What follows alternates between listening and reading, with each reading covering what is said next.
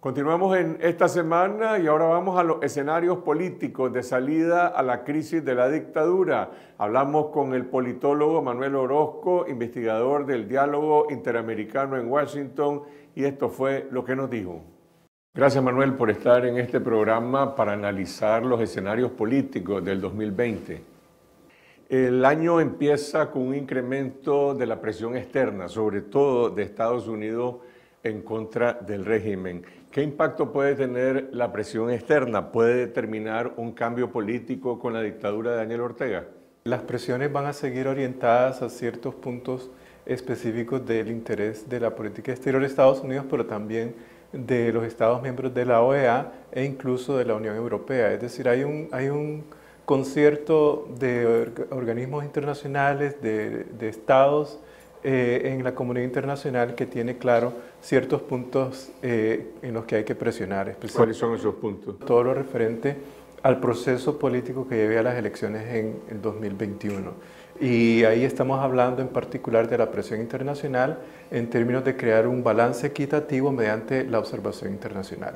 Eso es un elemento muy importante en donde países como Estados Unidos han básicamente expresado que en Nicaragua no se va a reconocer ningún proceso electoral si no hay reglas del juego claras, transparentes y competitivas. Y un elemento primordial de eso es la observación internacional. Ahora, ¿es suficiente la presión externa para lograr una reforma política o una reforma electoral en Nicaragua? No, la presión internacional es subsidiaria a lo que está ocurriendo al interior de Nicaragua. En, al interior de Nicaragua hay básicamente un movimiento político que se está consolidando en lo que llaman la Gran Coalición y ellos están diseñando una estrategia de presión interna hacia el gobierno para que eh, cumpla con ciertos compromisos políticos que son de, de, importancia para esta coalición. Uno de ellos es las reformas al sistema electoral en Nicaragua, otro tiene que ver con la restauración de los derechos constitucionales y el tercero tiene que ver con la liberación de los presos políticos. Esos tres elementos son parte de toda una estrategia política que se está diseñando, se está consolidando eh, en el país y el 2020 es prácticamente un año de lucha política bastante fuerte. ¿Qué impide que se avance con más consistencia, con más determinación en la formación de esta coalición y sobre todo en la presión? Es un tema de método de lucha, es un tema de métodos de selección de liderazgo, es un asunto de organización. Son las tres cosas. El, el, primero, el punto medular, pero tal vez es básicamente la confianza mutua entre los diferentes miembros. Estamos hablando de, del sector privado nicaragüense al cual se le tilda de haber sido pactista, aunque en Nicaragua no hay un solo actor político y social que no haya pactado con el gobierno de Daniel Ortega. La Iglesia Católica, los evangélicos, el sector privado, los partidos políticos, aquí todo el mundo ha hecho un pacto con el gobierno de Daniel Ortega para tener una cuota de poder. Entonces, no hay ningún... Eh, todos son cómplices. Entonces, todos desconfían de todos. Eh, ¿Qué es lo que pasa? Que frente a esa desconfianza, depositar eh, algún tipo de, de, cuota de poder hacia esta coalición eh, se vuelve más difícil. Segundo, hay una cuestión de métodos de, de lucha. Hay un movimiento dentro de algunas de las organizaciones que quieren presionar al gobierno de Nicaragua mediante un paro, por ejemplo. Eh, sin entender que la necesidad del paro realmente en este momento no tiene un espacio. Eh, hay un desencuentro, hay un destiempo de tener un paro nacional debido a la situación en la que se encuentra el país. La política es dinámica, no es estática, y las condiciones en este momento no te permiten trabajar eso. Entonces es una cuestión de, de liderazgo, de método, de confianza. El liderazgo en particular, en este momento, eh, se encuentra definido en términos de unas cuatro o cinco personas que están tratando de perfilarse dentro de la dirección en que tiene que ir llevándose esta coalición política. Independientemente de cuál sea el desenlace de esa coalición, hay una aceptación en Nicaragua de que cualquier liderazgo que pueda confrontar a la dictadura o a los representantes de la dictadura debería surgir de alguna suerte de mecanismo participativo, democrático, representativo, transparente o todavía prevalece la política del dedazo, la política de las élites que pueden decidir el candidato o el partido será este o aquel? Mira, hay dos, hay dos liderazgos del, del, que hay que distinguir. Uno es el liderazgo que surge a partir del movimiento social que se, se vuelve un movimiento político de la Unidad Nacional y la Alianza. Estos dos movimientos se han ganado el respeto y el apoyo de la población nicaragüense. Por lo menos el 30% de los nicaragüenses cree que esta, estas dos organizaciones como una coalición política son un vehículo electoral muy importante. Ese liderazgo ya está definido. Lo que hay que hacer es formalizarlo. Segundo, eh, dentro del, proceso político de esta coalición que se está formando, uno de los elementos importantes es la gobernanza y dentro de esa gobernanza, de esa coalición está la selección de un proceso de identificación y de elección de un candidato, de un líder que vaya a representar la gran coalición. Se le llaman primarias. Esas elecciones que se van a desarrollar para elegir al candidato se están definiendo y van a formalizarse. Ahora, la, dinámica en este momento que, que, define la formalización de esta coalición es si se incluye o no a los partidos políticos y si estos partidos políticos realmente son tóxicos, lo suficientemente tóxicos para el país que le va a restar en vez de agregar apoyo eh, y legitimidad a la población nicaragüense. Entonces ahí se está digamos, tratando de definir el futuro de esta coalición en función de eso. El movimiento campesino forma parte de la alianza cívica, pero al mismo tiempo se presenta eh, como una fuerza autónoma. En este programa entrevistamos el miércoles a Medardo Mairena y Medardo Mairena decía, si no hay unidad el 25 de febrero, el movimiento campesino va a tomar eh, sus propias decisiones. Es, un, es una tercera fuerza autónoma. ¿Existe el riesgo de que se divida esta coalición antes de nacer? Yo creo que el movimiento campesino nunca ha sido parte de la alianza en términos prácticos. Ellos eh, se integraron a la alianza cívica en la primera etapa eh, cuando se inicia el diálogo, fueron conformados por parte de este proceso de mediación. Eh, Medardo es apresado, va a la cárcel. Al salir de la cárcel, Medardo entra con una perspectiva política diferente en donde ellos se mantienen al margen prácticamente de la alianza cívica. Ellos se han autoconstituido eh, en una tercera fuerza, pero no una tercera fuerza política, sino un movimiento autónomo que, se define como un movimiento campesino. Ahora, su base es importante, eh, sin embargo, en términos prácticos, ellos yo creo que les falta todavía definir cuál es su posición en términos nacionales y, de alguna manera eh, no, no, son transparentes en lo que ellos quieren definir en términos de, de, cuál es el interés nacional que ellos quieren defender. Y eso representa un problema. Yo creo que eh, el costo político va a ser mayor para ellos en no definirse y mantenerse al margen de esta gran coalición. ¿Cuál es el plazo político para la formación de esta unidad opositora o de esta gran coalición? Mira, la fecha que ellos se definieron es el 25 de febrero. Ese es el plazo calendario. El plazo real... Es una fecha simbólica. Es una fecha simbólica. De la elección de 1990. Exactamente. Y, en términos prácticos, pues ellos pueden anunciar eso en términos reales. Eh, el plazo político de ellos empezó este mes porque para formalizarse de coalición política a un partido político, ellos ya tienen que haber empezado el proceso de inscripción como tal. ¿Estás partiendo de que cualquier proceso es con las reglas actuales de la dictadura? ¿Estás descartando que se vaya a producir una verdadera reforma electoral? Bueno, pero es que las reformas electorales que se van a producir en este momento están cocinándose en la Asamblea Legislativa y van a ser cosméticas. Entonces, desde un punto de vista estratégico, vos tenés que empezar a trabajar con lo que hay. Y si tu capital político está potencialmente fortaleciéndose, tienes que tener una estrategia paralela que es de empezar de, integrarte dentro de las reglas del sistema actual. Pero eso es una definición, digamos, formal. La pregunta es, ¿qué capacidad de presión tiene ese movimiento, ya sea unido en esa coalición o como está ahora, realmente para demandar un cambio en las reglas del juego? Sí tienen capacidad. Eh, ellos lo que necesitan confirmar, porque tienen de alguna manera un mandato popular, es que realmente ellos están con una, una fuerza de presión de parte, con el respaldo de, la población nicaragüense. En ese sentido, eh, eh, la influencia que ellos ejerzan eh, a través de los partidos en la oposición puede permitirles influir sobre un cambio en la reforma electoral. Ahora, Daniel Ortega tiene técnicamente eh, todo el, poder legal de hacer reformas a su antojo.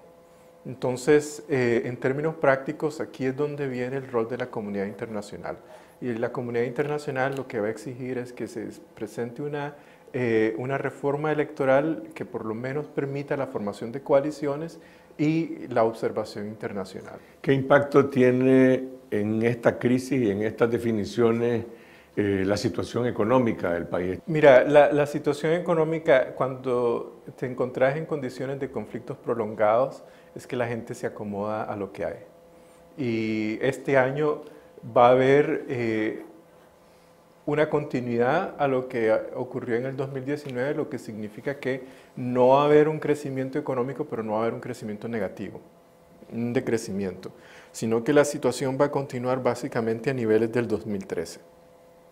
Eso significa que eh, el ritmo económico eh, va a exhibir ciertas transformaciones mínimas, va a aumentar el turismo un poco, porque realmente eh, la gente como que mira que hay un reacomodamiento a la realidad de vivir en un estado policíaco.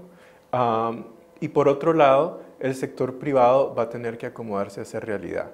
Ahora, ¿puede el sector privado resistir más allá de emitir un comunicado para demandar que cambien las reglas de los impuestos o los pobladores que están siendo afectados por la suspensión o reducción de los subsidios? Yo creo que eh, el gobierno de Nicaragua va a ser una táctica transaccional de más bien liberalizar algunas de las eh, extorsiones y de las presiones económicas que ejerció en el 2019 con el propósito de captar eh, más impuestos mediante el aumento en el consumo.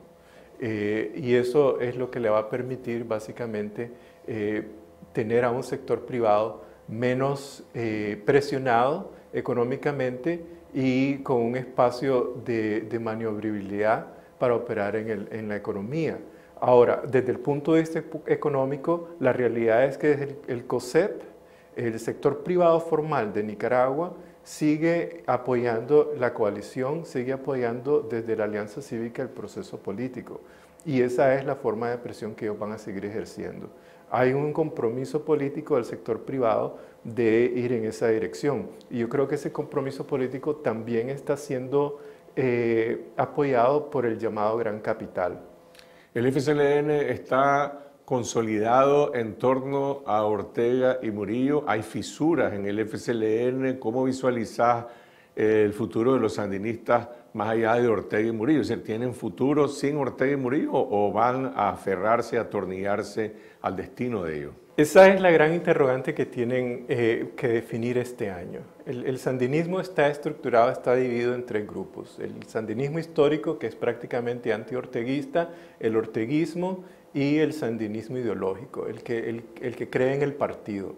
El, el, orteguista es el grupo prácticamente clientelista que no tiene ninguna otra opción que seguir apoyando al régimen a menos que miren que si las sanciones van a continuar, si la presión interna va a continuar de manera que Ortega va a perder una elección, entonces ellos van a tratar de ir saliéndose poco a poco y hay indicios de disidentes dentro del círculo de poder. Entonces, estos tres grupos están repensando si el proceso electoral eh, del 2021 va a requerir la presencia de un candidato diferente a Daniel Ortega. Y esas diferencias se están observando. Vos podés ver en algunas de las encuestas que ha hecho eh, gente pro gobierno que, o pro Ortega que eh, nos está preguntando si la gente estaría dispuesta a reelegir a Daniel Ortega. No se están haciendo preguntas de un candidato como Ortega, sino que se están haciendo preguntas sobre el partido.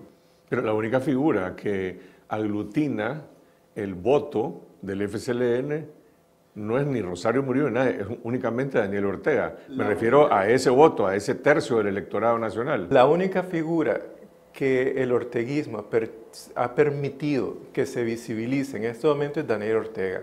Pero el momento en que eh, se observe más disidencia e incluso Daniel Ortega eh, identifique como estrategia de salida una opción alternativa, por ejemplo puede ser Minta Granera, eh, que se ha identificado como un potencial eh, actor en este proceso, yo creo que van a aumentar las diferencias. Cuando se produjo la caída de Evo Morales en Bolivia, en noviembre del año pasado, Daniel Ortega inmediatamente reaccionó y dijo, esto elimina la vía electoral y reivindica el derecho a las armas. Sin embargo, en Bolivia hoy el partido de Evo Morales, el movimiento del socialismo, va a unas elecciones en mayo sin Evo Morales. ¿Esto es un espejo para el FCLN? Claro que es un espejo y yo creo que el mensaje que dio Daniel Ortega fue muy peligroso porque abrió los indicios de una ruandarización de Nicaragua y eso realmente es muy preocupante.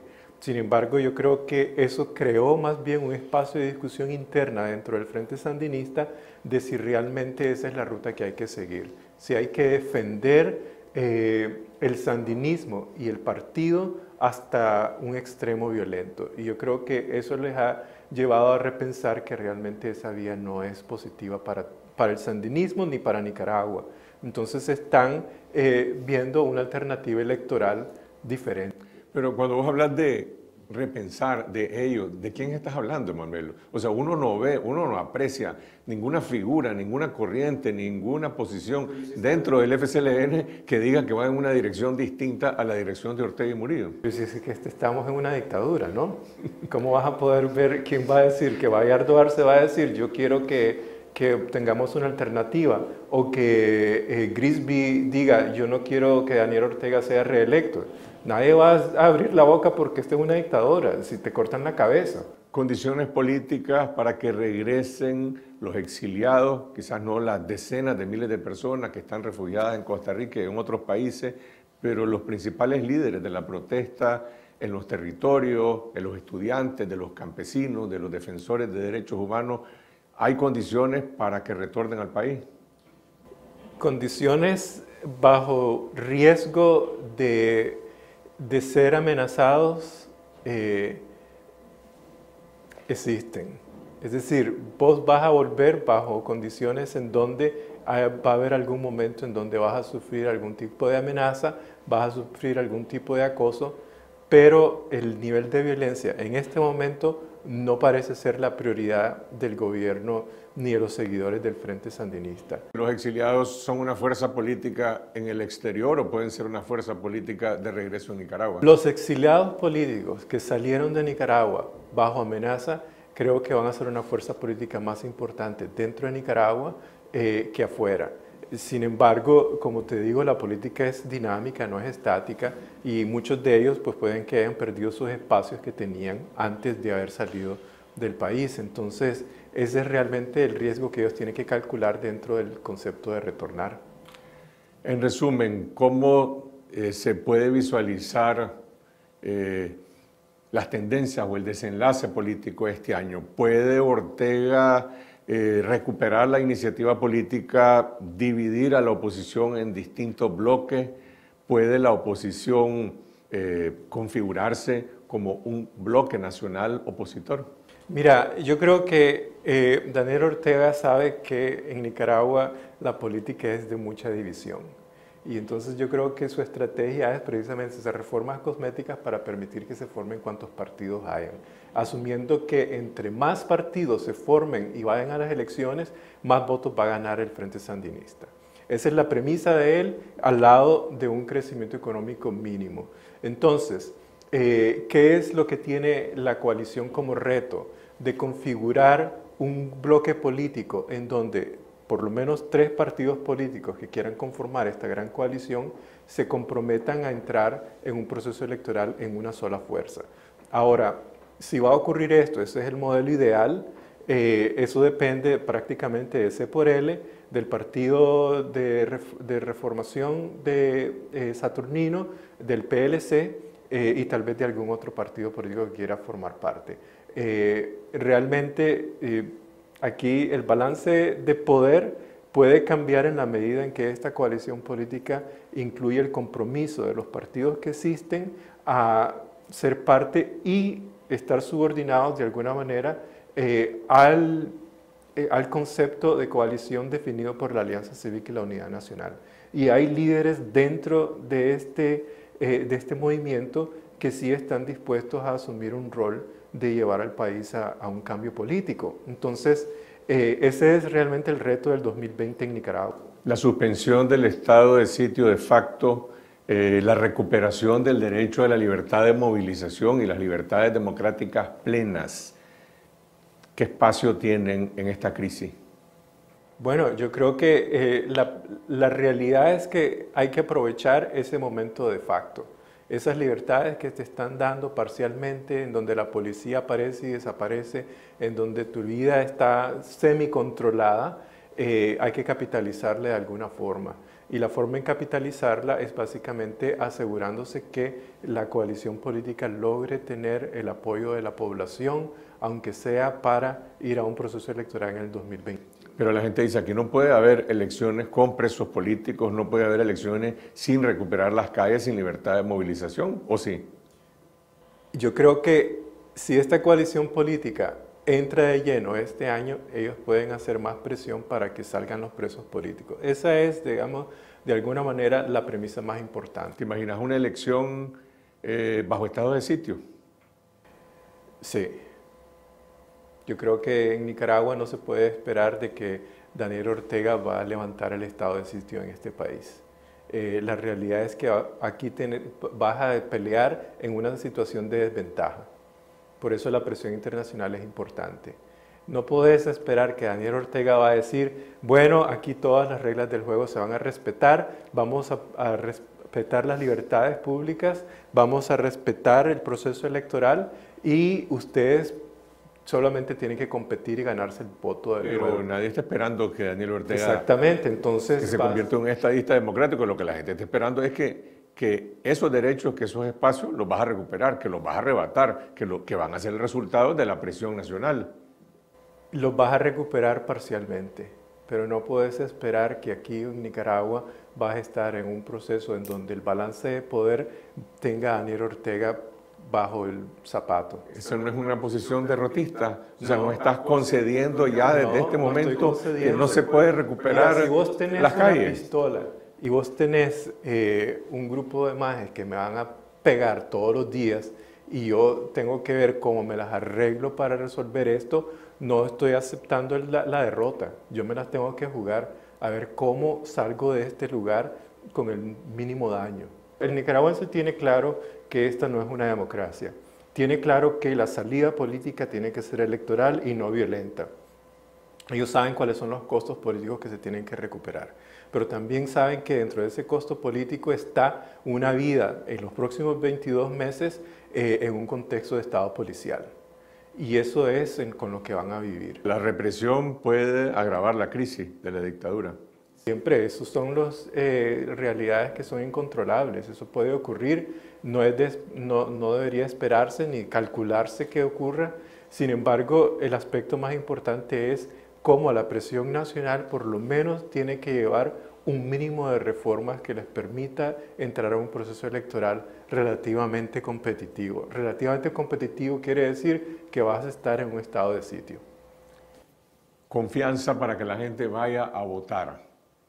¿Se puede lograr confianza bajo esos términos de los que estás hablando, de que relativamente... Claro que se puede lograr, siempre y cuando esta coalición refleje el interés del nicaragüense que quiere votar por un candidato diferente a Daniel Ortega, esa confianza va a existir. Y eso es lo que tiene que tener claro la coalición eh, opositora, que ellos necesitan para ganar realmente gozar del apoyo del nicaragüense. Eso es lo que dice Manuel Orozco, investigador del diálogo interamericano. Gracias por ver este video. Los invito a compartir nuestro contenido en las redes sociales y a suscribirse a nuestro canal para apoyar el periodismo independiente en Nicaragua.